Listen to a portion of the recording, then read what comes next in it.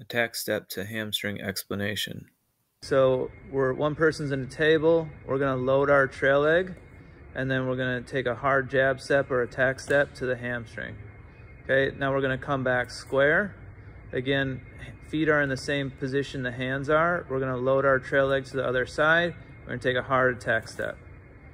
Okay, so it's outside step, outside reach. We go square, we load, and we outside step, outside reach, square, load, outside step, outside reach.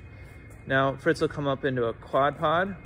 Okay, same idea here.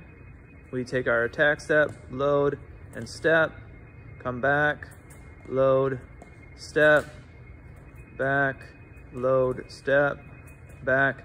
And again, trying to focus on that hard acceleration with each attack step.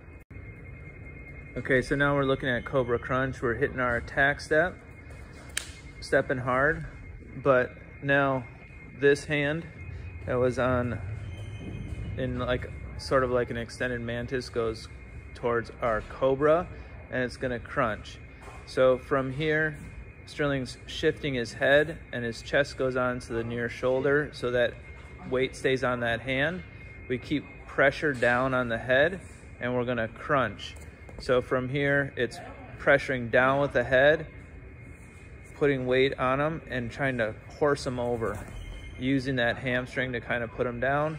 From here, there's lots of options, looking cradle, but we'll just circle around knee in the butt around the corner and getting our points.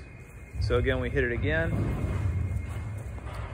Okay, so we attack step, keep our cobra, shift our weight, keep weight on the head, and crunch them down.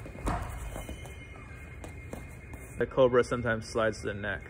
So we attack step, but sometimes the cobra doesn't, it leaves the armpit and just catches on the back of the neck.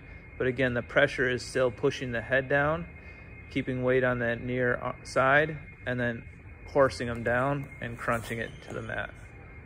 Attack step, we're looking at doubling off. So again, we're gonna load and take our attack step. We're hitting the hamstring.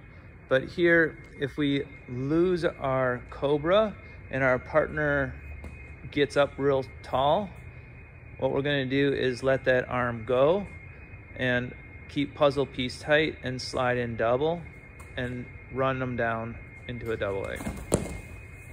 Okay.